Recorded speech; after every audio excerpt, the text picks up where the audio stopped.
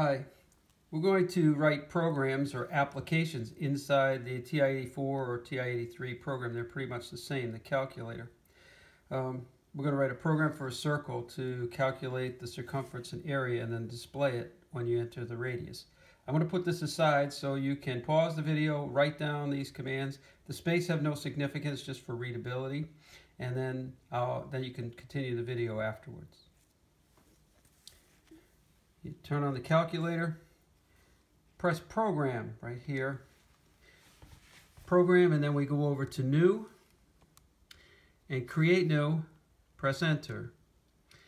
Once we press enter, it's in alpha mode and we want to be able to type in the name of the program and we're going to call it circle. C I R C L E. Notice that the alpha letters are above to the right of each of the keys. Then you press enter. That puts us in the program entry mode or edit mode, one of the two. And to get the first command, it's clear home. So we're going to say program, and that tells the calculator we're going to go get the commands, and we go to the input output. And clear home is number eight, so you can press eight or you can press enter. And clear home to get to the next line. We press enter, and now we want to get another command. Notice the commands are intercap and the ones that are not commands are all capitals. So you enter all capitals, but if it's a command, then the calculator has to recognize it, and it's called intercap notation. Instead of a space, it puts capitals.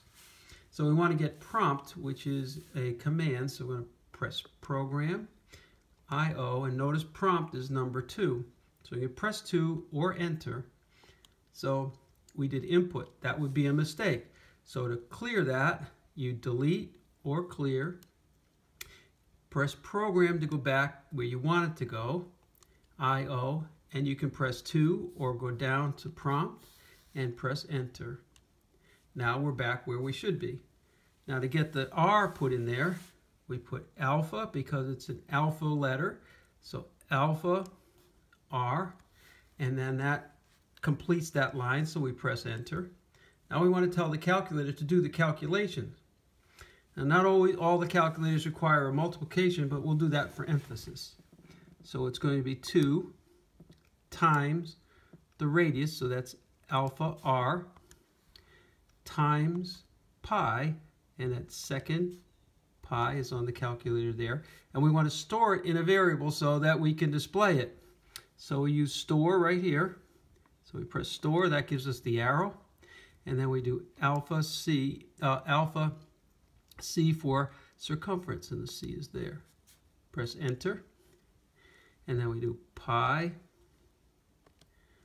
times the radius, alpha r, alpha, and then the square is that key right there, square key, square. And now we want to store that in A for area, store, alpha A. So that completes the two formulas, or the calculation. And now we want to display the answers. So we take the answer, um, and we want to put it, but we want to put a label in front of it. So we're going to program, go to input output, and down to number three, display. We want to display a word, so we have to tell the calculator it's a word and don't not multiply our variables. So we're going to do alpha quotes and then area. Alpha A, alpha R, alpha E, alpha A, alpha quotes. And then comma, it's above the 7, and then alpha A. That completes that line. It can be done faster by just doing alpha lock once you put the command in there, so let's try that program, IO, display, and now we can do second alpha lock, and that keeps it in alpha until we're done. It'll be faster. Quotes, and we're going to put in circ for circumference.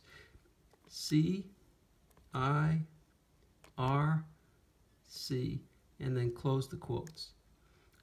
Now press alpha to take it out of alpha mode. Notice the cursor is now blank or solid put comma, and then we have alpha C. And now we want to, once we've done that, we want to tell the calculator to stop. So we press program to get a command, And stop is in the control column. And if you scroll down until you get to stop, keep going until you get to stop, and there it is. And you press enter, and now you've completed the program. So we do second quit to leave it, to try it out, press program, and then we select circle, which is number eight. And it says, okay, that's what you want to do. We press enter to say yes. And then we put a radius in there and we'll put in two, just for an example. And we do that. And the area comes out to be 12 something, and the circumference comes out to be 12 something.